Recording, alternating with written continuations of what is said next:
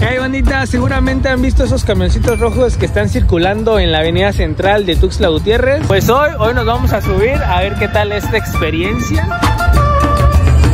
Y en todo este recorrido va a haber explicaciones, en qué consiste más o menos. Claro, en todos los puntos que tenemos acá como paradas, aplicamos el sube y el baja. ¿Qué quiere decir eso? Si tú tienes un interés en estas paradas, te bajamos y en la siguiente vuelta puedes volver a abordar la unidad sin ningún cobro alguno con tu misma pulserita y así puedes hacerlo con todas las paradas que tenemos. ¿Cuáles son los Eh, costos? 100 pesos para chiapanecos, adultos, 50 pesos para niños y para el extranjero, o sea, de otro estado o país, 150. Ese recorrido más o menos cuánto dura. Una hora y cuarto, hora y media, depende mucho también del tráfico de la ciudad. Ahorita estamos aquí en el Parque Central y nos vamos a subir a, ese camioncito que se ve allá para irnos hacia la base. Creo que lo más chido es lo de arriba, no irse arriba. Vamos a subir.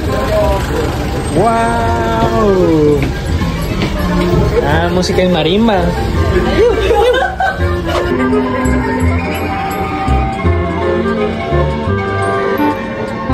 La base de los camioncitos está aquí, en la esquina del Parque de la Marimba.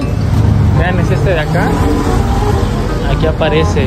Esta es la base, aquí pueden comprar sus boletos. Y ya una vez que compraron sus boletos, ya pueden escoger cualquiera de los lugares que pues obviamente van a ir hacia arriba. Sombrero de charro. Y ya agarramos estos lugares, vean, en la tercera fila.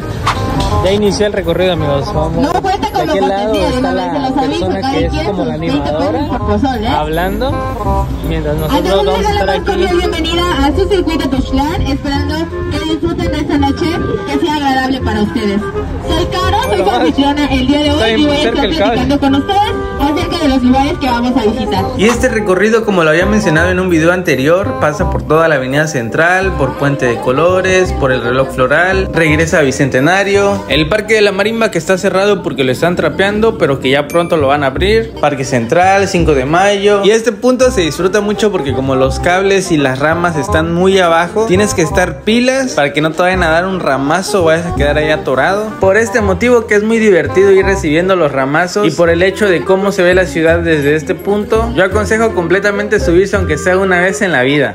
Poco es peligroso, ¿eh? Listo. Esto es para quitarle el empacho, ¿eh? Ni siquiera llevar su recuerdo, levántese su manita, se va a su tenis, el número 7. Otra vez, ¿eh? El pilón, el pilón, el que viene, viene, viene, viene.